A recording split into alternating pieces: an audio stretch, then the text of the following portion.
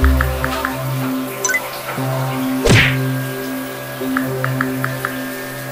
you.